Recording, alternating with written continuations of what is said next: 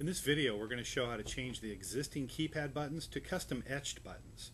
All you need is a small screwdriver. It's pretty easy to do. Let's get started. In this video, we're going to show how to take out the standard keypad covers that come shipped with every SwitchLinc keypad to laser etched keypad colors. This process is done by just taking a small screwdriver, placing it between any two of the smaller paddles, and just rotate up and the switch will pop off. Now we're going to take the custom etch keypads. We're just going to place them in the order we want them in. Keep in mind the larger ones are going to have to go at the top and the bottom on a 6 button.